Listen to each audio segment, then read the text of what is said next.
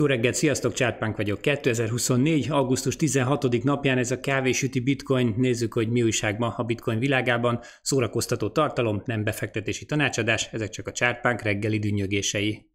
És hát a tegnapihoz hasonlóan a mai videó sem lesz túl hosszú, hiszen itt rögtön a swing idősávon láthatjátok, hogy nagyjából egészében továbbra is ugyanazzal a struktúrával megyünk tovább, mint gyakorlatilag egész héten, az RSI-ben az árakcióhoz képes divergencia nincsen, szépen oldalazik mind az árakció, mind az RSI. Igazából a tegnapi nap annyi történt, hogy ebben a szép forgalmú lefele gyertyában csináltunk azért egy érdemi, alacsonyabb mélypontot, itt az előző 1-2-3 mélyponthoz képest, úgyhogy talán-talán törni látszik ez az oldalazó struktúra, de jelenleg egy csökkenő forgalommal, tehát nem kifejezetten a lefelé mozgást validáló forgalommal, de nem is kifejezetten a pattanást validáló forgalommal zajlik egy korrekció. A 4 órás min az 59.300 dollárnál van. Ha addig elérkezik ez a korrekciót, majd meglátjuk, hogy a mean reversion követően hogyan reagál, de továbbra is azt lehet mondani, hogy a swing idősáv az alapvetően egy oldalazó struktúrát mutat nekünk.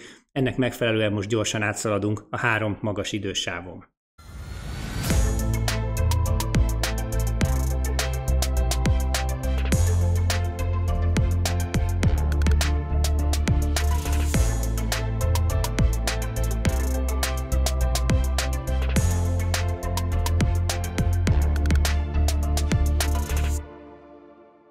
Itt is vagyunk a hetes grafikonon, helyzet továbbra is változatlan, itt van a mozgó átlag keresztezésünk 61.500 dollárnál, ez most magas, magas idősávon a korrekt árfolyam a bitcoin piacán, és azt lehet látni, hogy Hát most már a hétzárás az eléggé közeleg, és még mindig bőven, bőven a mozgó átlagok alatt, elsősorban a magas mozgó átlag alatt zajlik az árakció, tehát a múlt heti long 2-es trendstruktúra az most már igencsak veszélyben van, és elképzelhető, hogy a hétzárásra itt ezt a 2 per 3-at ezt jelentősen csökkenteni kell. A hétzárás vasárnap lesz, Meglátjuk, hogy addig mi történik. Az optimistáknak, illetve azoknak, akik meg akarják tartani a long 2-es trendstruktúrát, arra lenne szükségük, hogy vasárnap estig 62 ezer dollár fölé valahogy visszatekeregjen a bitcoinnak az árfolyama. Háromnapos idősávon trendkövető pozíció management rendszerben, vagyis konszenzió rendszerben változás nincsen, a mínünk az itt van 63.700 dollárnál, alatta van mind a két mozgóátlag, alatta van az árfolyam,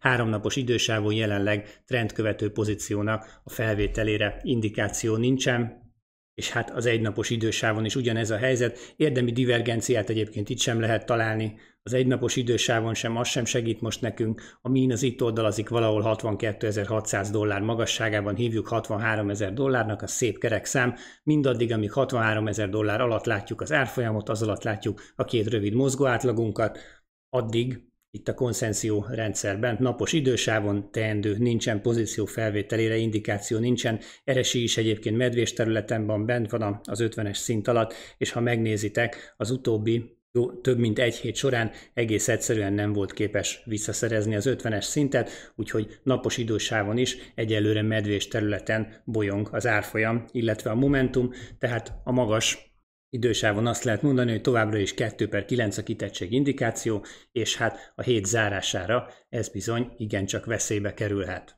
Hogyha átjövünk gyorsan itt a heti utolsó videóban az Ethereum piacra, akkor azt lehet látni, hogy az Ethereum piacán jelenleg egy 0 per 9 a konszenzió szerinti kitettség indikáció, mind a három idősávú medvés rendezésben vannak a mozgók, és az árakció a min alatt van, Hetesen jelenleg 3200 dollárnál van, amin három naposon 3300 dollárnál, naposon pedig 3000 dollárnál, tehát ez a gyakorlatban azt jelenti, hogy aki trendkövető kereskedést folytat, annak 3000 dollár fölött lenne indikáció arra, hogy elkezdjen pozíciót építeni, és utána 3200-3300 dollár fölött lenne az az árfolyam sáv, ahol az Ethereumban a trend az már sokkal jobban néz neki, mindaddig, amíg így néz ki a struktúra, és 3000 dollár alatt mozog az Ethereumnak az árfolyama, addig egyelőre konszenzió kereskedési rendszerben pozíció felvételére nincsen indikáció, és hát megszoktuk itt nézni a videókban röviden néha a Solanának is a trend szerkezetét, naposan úgy látom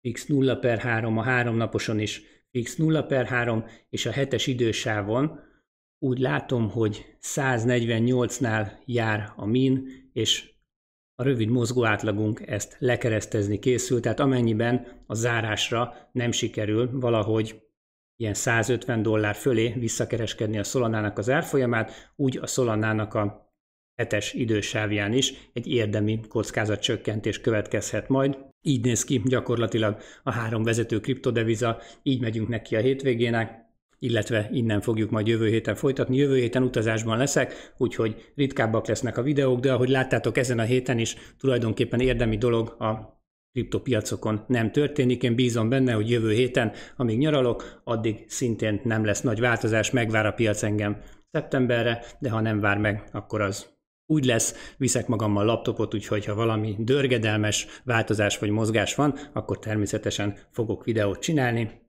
Ez volt a hétre az utolsó videó, innen folytatjuk a következő időszakban. Köszönöm szépen a figyelmeteket, remélem, hogy szeretitek továbbra is ezeket a rövid kis bitcoin piaci összefoglalókat. Mára, illetve erre a hétre többet nem tudok mondani a piacokról. Amennyiben szeretitek ezeket a rövid kis update-eket, úgy tartsatok velem majd a következő videókban is, addig pedig mindenkinek további kellemes nyarat, jó hétvégét és jó kereskedést kívánok, innen folytatjuk majd, sziasztok!